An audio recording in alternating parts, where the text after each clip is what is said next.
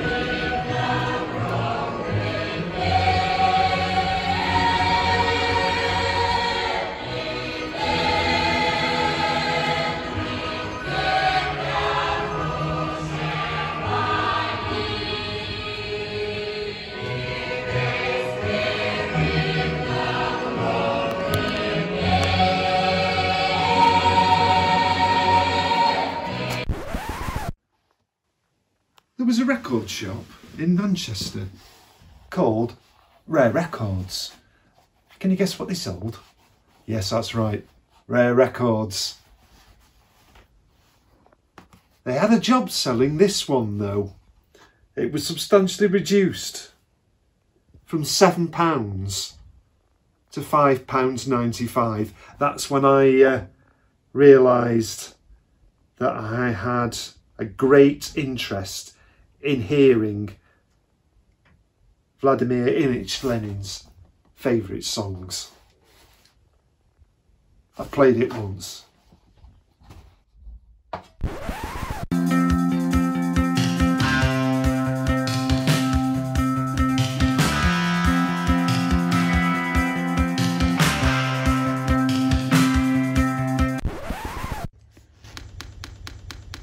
Another record here I got from Kendal Milne. And I got it, it's the original Elektra pressing. It was like that thick. Well, obviously not literally, but it was the thickest record I'd ever bought. And um, many years later, I was uh, introduced to um, Iggy, the singer, who's a friend of Bernard's. Iggy Pop. Iggy Pop, as he calls himself. And I said, Iggy, that first Stooges record was uh, the heaviest record I'd ever bought, meaning weight. And he said, "Yeah, man, that was a really heavy record." I don't think he uh, he understood me.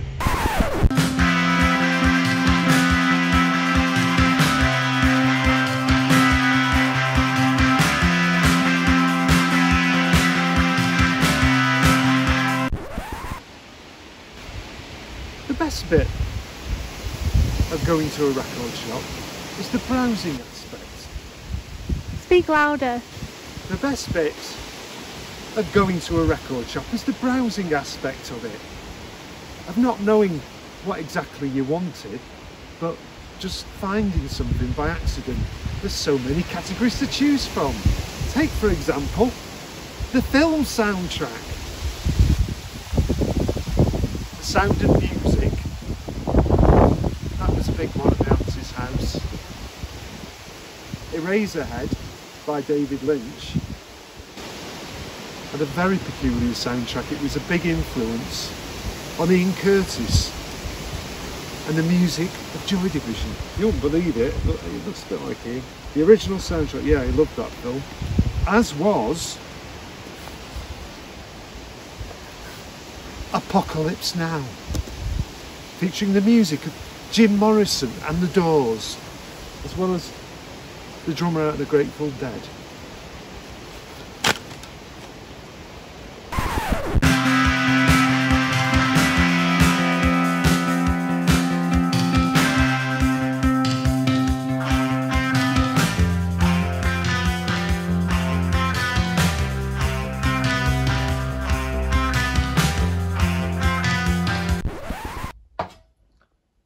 On the other hand, this is the second record I ever bought. It's by Hawkwind.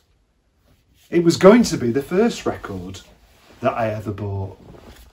But unfortunately, when I went into the record shop, which was a dingy subterranean cellar in Macclesfield,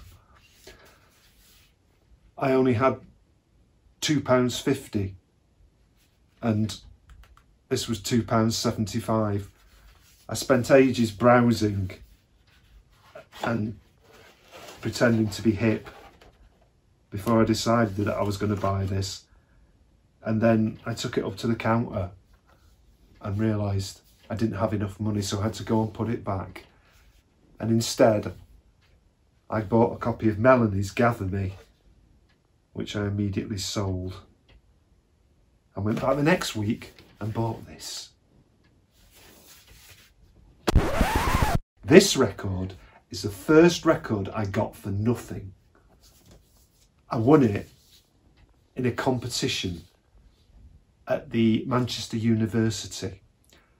The competition was the disc jockey put a record on and said, Can you guess who this is? And it was uh, White Riot by The Clash. So I shouted, The Clash! And I won this record, The Clash's first album, for nothing.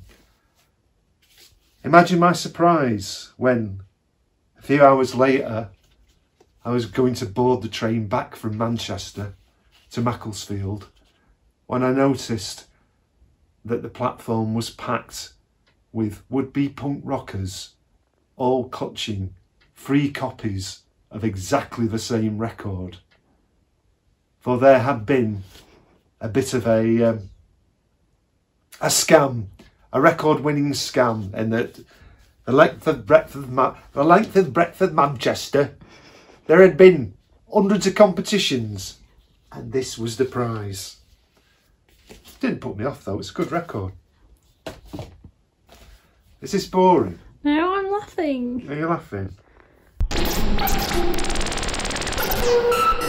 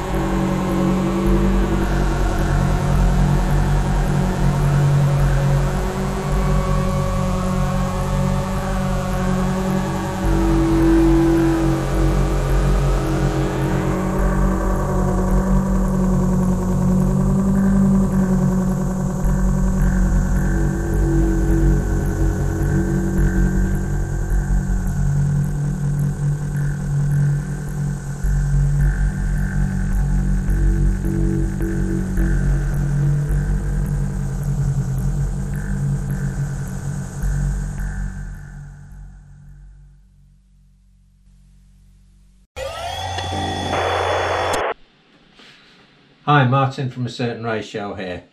I'm going to explain to you a little bit about the recording and writing process of our latest single, Friends Around Us, how, how, how it came about. Uh, the original idea for the song, and it was originally called Berimbau, the working title for the song, was to start off a tune, an idea using uh, the berimbau, which is a Brazilian instrument. So me and Donald both played a berimbau each, recorded the berimbau, which you can hear one of them there, and that's the other berimbau, and together they make up that beautiful berimbau rhythm. And from that berimbau rhythm, we added everything else. Uh, we wrote the song in two parts, part one and part two. Um, part two is is uh, came about on the second day, um, and part one, as with all good certain ratio songs, happened really really quickly. All the best tunes we write in the studio happen like that. So we'd we'd we'd recorded the berimbau part. The next bit was to get a drum beat, and in order to do that really quickly, we just put a stereo pair of microphones over Don's kit and recorded him very basically like that. So it's an ambient organic sound which really fits with the marimba, berimbau riff. Next we added a bass. On the first half of the tune, part one, it's Donald playing the bass. It's a very Kraftwerk influenced bass line. On the second half of the tune, part two, Jez plays the bass, which we'll come to in a bit. Um, to the bass, drums, and berimbau, Jez added uh, a chord sequence with a couple of keyboards. Um, something that Jez is really good at writing really nice chord sequences, which then allow him to, to write a good vocal to. The guitar also follows that chord sequence.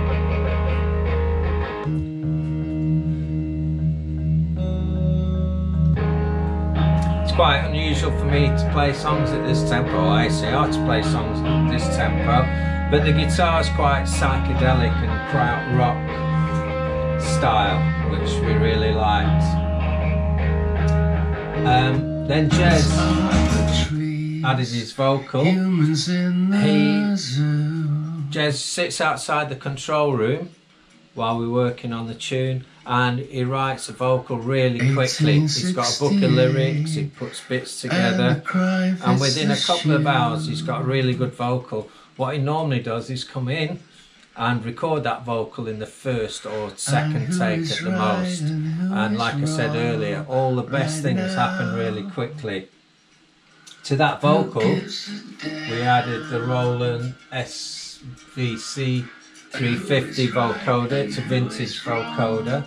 And it adds that sort of modulation to the vocal, which you can hear. And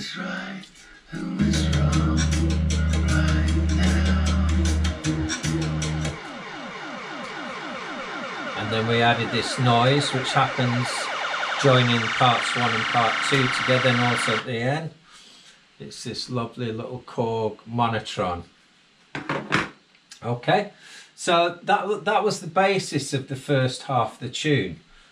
Um, when we came in the second day, uh, we had this bright idea um, to double the tempo of the drums, to take Donald's drums from the first half and double it in tempo, and add another couple of minutes to the tune.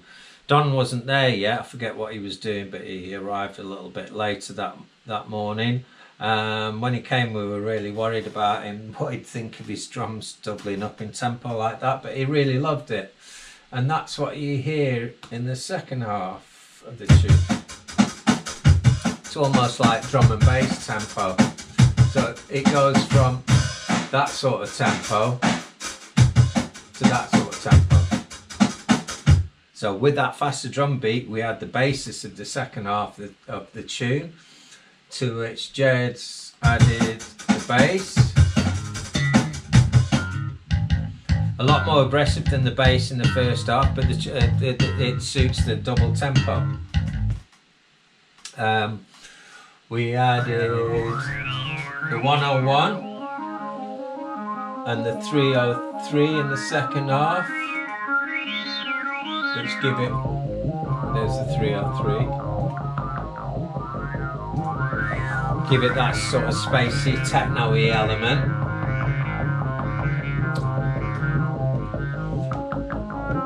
Then Jez added this beautiful choir voice. In the second half, which is a really uplifting melody for the, the second half. And then Tony added his sax. Tony is always really good at creating beautiful counter melodies to to the main melodies, as you can hear here.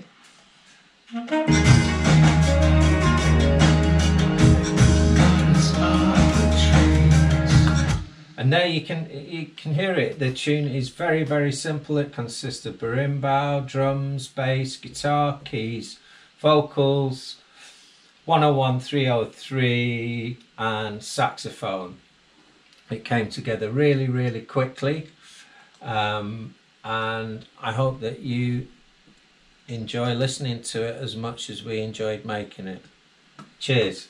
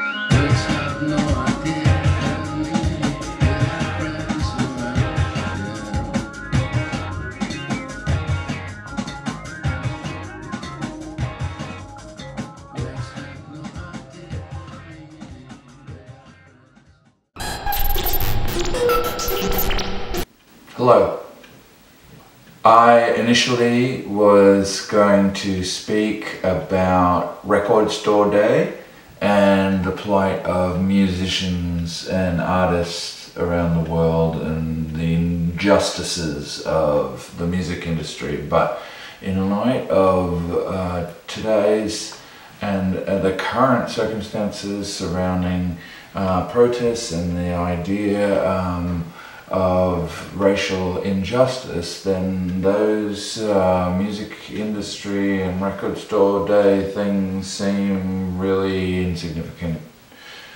So instead of that, I think I just want to say that uh, Liars supports Black Lives Matter, and we uh, we're working um, as best as we can to educate ourselves and then help our community stamp out um, prejudice and racial inequality. Um, so uh, I hope uh, one day soon we'll have the opportunity to talk about um, the new things um, that have been made, but creativity and the idea of music for me at the moment is uncomfortable to talk about and I'd prefer to keep the focus on uh, Black Lives Matter as long as possible. So um, please uh, do your part, get involved, say something, and um, and let's continue uh, the protests and um, continue our quest for equality. Thank you.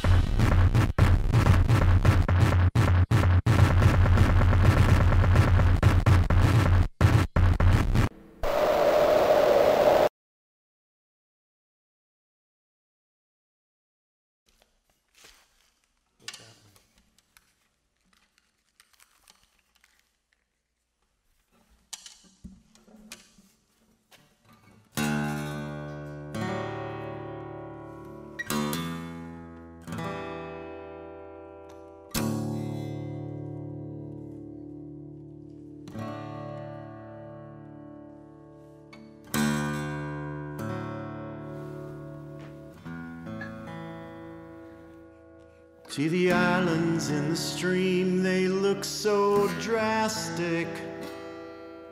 The birds across the sky seem pale and plastic. The warden and the jail are made to look so frail. The innocence of dreams just set sail, just set sail.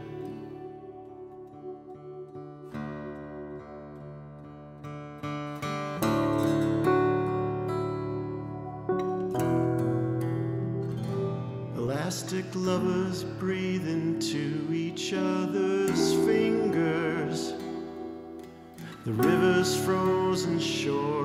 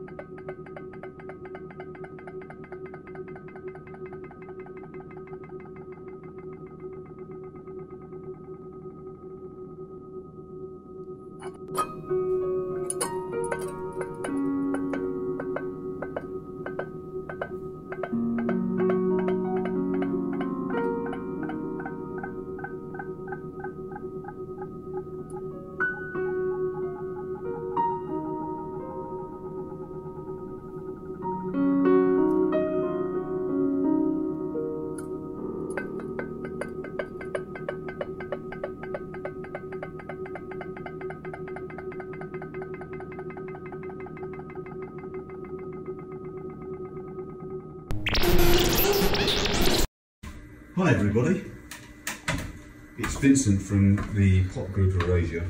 Uh, I'm here to show you my studio. This is the cabin studio. Let me show you around. Um, here we have all the synths, the computer. Uh, here for instance is the Oberheim expander, which I really love. I use that a lot for the for, for the latest record. There's a Pro 5 there. OB-1, again a nice synth, especially for bass. This stuff here, that's the Obi, Obi section. Um, yeah, that's the Obi section. And here we have the Syrinx, which is from Holland, and a couple of Korg uh, synthesizers. This is the MS-20 and the MS-10. Everybody should have one of those. Yep. And moving on, here's the uh, here's a vocoder plus a VP330. Under here, there should be the JP4, but unfortunately, that went into storage. Oh no, it didn't go into storage. No, it went into repair. So uh, that's being repaired at the moment, uh, but I can't pick it up right now because of the uh, COVID restrictions. Anyway, um, moving on, this is a couple of uh, Moog mini Moogs. Again, great for bass and all sorts really, and percussion as well. This section here, this is the uh, Juno 106, Juno 60 and the JP8. Uh, is my Juno section of sorts. And then actually here is the uh, Roland uh, System 100M, one of my favourite modular uh, systems, only because it's in so much as it's very easy to use. Which is always good.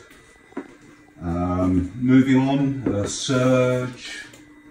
Uh, these are the ARP 2600s, um, which I love, of course. Everybody loves them. These are ARP sequencers, which I used a lot for this new record.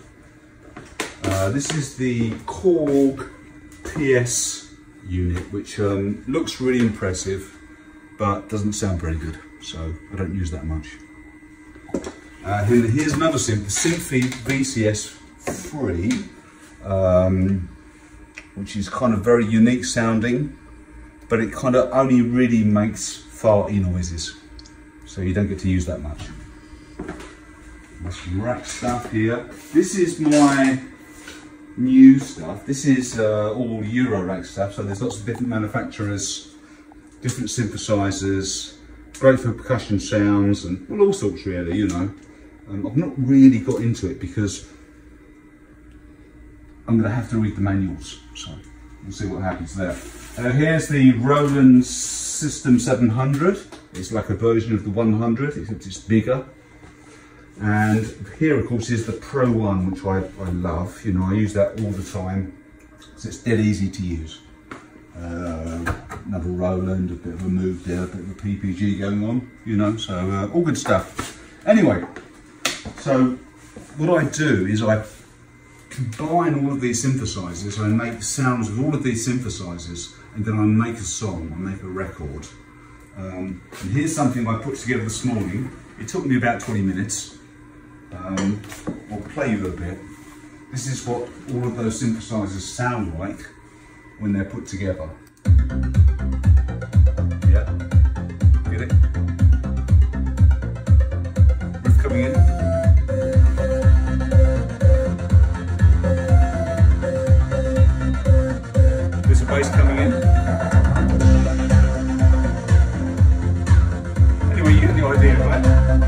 That's kind of what we do here at the cabin studio. So what I'm going to do is I'm going to do a little mix of that and I'm going to send it to Andy uh, and he's going to put some vocals to it and then at the end of the day we'll have a song.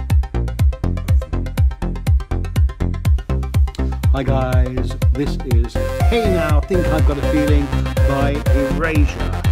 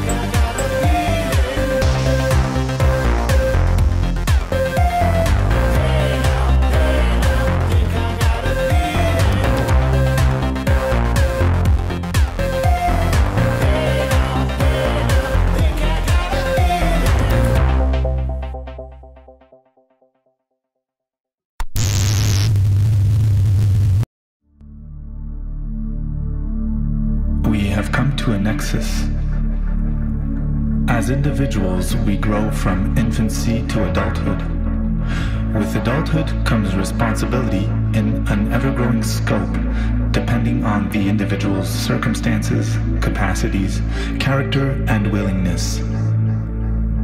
This process takes a lifetime, but the initial stages, from infancy to maturity, are more or less well known. Let's say it takes a few decades and a lifetime for an individual to grow up.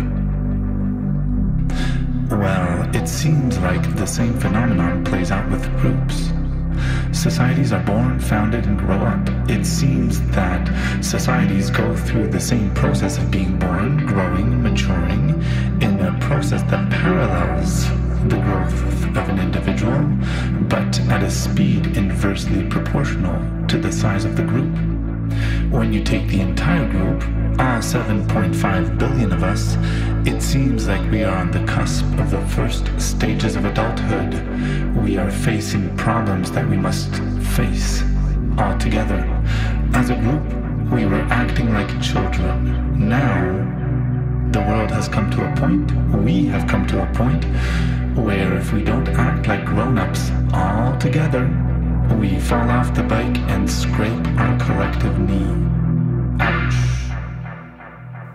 But that's okay, that's part of growing up, and the process is incredibly asynchronous. If you want to time travel, just go to different parts of the world and different aspects of our own society. We have vestigial bits and bobs of so many past centuries still happening right here, right now, somewhere.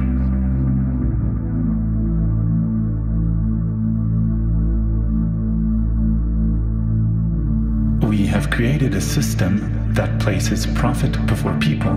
That is madness. That is literally placing the focus on inanimate objects rather than animate people. Time is not the most precious thing in the universe. The most precious thing in the universe is people. Placing objects before people, that's no good. We want to live, and to do so, we must place people before profit. The welfare of people before profit. This can no longer exist merely as a soundbite. We must immediately translate the idea into positive, effective action. We must, because our destiny has only two paths. The first path goes up and we live. The second path goes down and I propose we follow the first path. We are at a nexus and it's up to us as individuals and all of us together to choose how we will exit the nexus.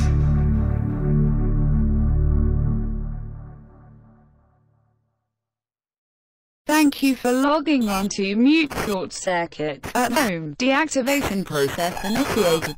Good goodbye. Transmission complete. Systems offline.